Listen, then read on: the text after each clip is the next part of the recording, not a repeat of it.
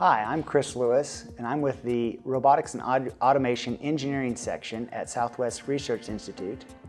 And I've been working on an internal research and development project where we're trying to uh, use modern 3D sensors to estimate the behavior of people uh, that are within the field of view of the sensor. Modern 3D sensors use triangulation to provide not only a color image of the people, but also the distance between the camera and, and all the objects in the scene. The goal was to develop a system that would work in real time to identify uh, particular activities that were customized for the application. Our system consists of two components, the training system and the runtime system. The, with the training system, the user simply records a sufficient amount of video containing all the different kinds of activities that are of interest, and then labels when the activities of interest either start or stop. And that information is then used to train a machine learning algorithm to identify those particular behaviors. The runtime system then uses that trained classifier uh, in real time and the data streams coming in from the sensor to identify that there, which activities are occurring in the scene.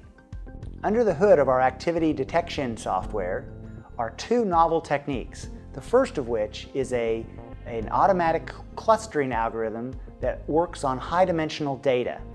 It does two things. It first determines how many clusters there are in the data, and then determines a maximum likelihood model for each of those clusters.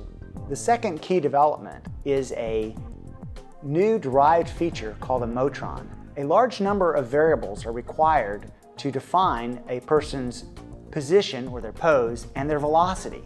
That's their total body state. However, many body states are very similar to other body states. And a motron is where those body states tend to cluster.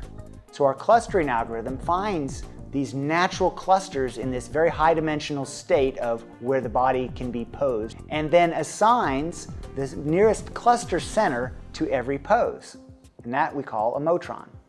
Typical human activities follow a set sequence of body states. Thereby, they follow a set sequence of motron values. Okay, for this reason, we can use a histogram over a short time window of the body states that were present in the, in the scene and use that to classify the behavior that's occurring.